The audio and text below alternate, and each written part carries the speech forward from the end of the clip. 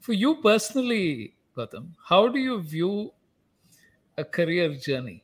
What is your understanding at the end of having spent 25 years in a profession and eight years at uh, the chemical plant? What exactly is your take on this journey, and where do you start it, and you know how does it evolve?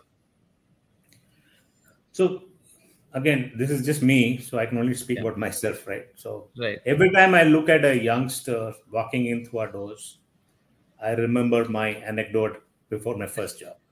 Okay, so I that is that's never going to disappear. That's like a yeah, imprint. That's going to stay with me. Yeah. So yeah. So we make sure that every person walking in gets a sense of belonging, gets a sense of okay, I am respected here, I am needed here uh, most organizations uh, uh, we let the trainers take that role. I think some organizations have now started making sure, or at, at least four five organizations that I know, where some of the senior leaders go talk to these people right at the beginning.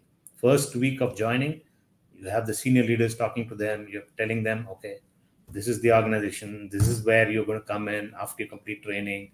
Rest assured, we'll take care of you that's a lot of uh, important steps uh, to make sure they become entrenched and anchored right? So otherwise they they're like left out as orphans don't know what's going to happen next. A trainer has his or her job to do. Okay i have these modules to cover. He's not going to worry about engaging and telling them about the future. That needs to come from leaders who are going to manage them in the future. So those are some aspects that are very very important so as a leader, that's how we have evolved.